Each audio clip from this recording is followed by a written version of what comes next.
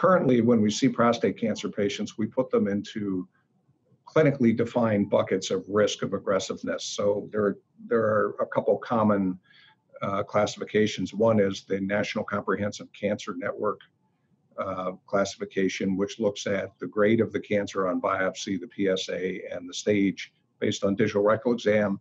And then there's something out of uh, the University of California, San Francisco called the CAPRA score, which adds some other refinements to that. They are uh, a good initial way of stratifying risk and helping decide on treatment. But this other paper, the genomic classifier, shows that when you add genomic information in there, you can further substratify risk. This is really important in the era of PSA screening because we know that most low grade prostate cancers, which are detected by PSA, actually don't need treatment.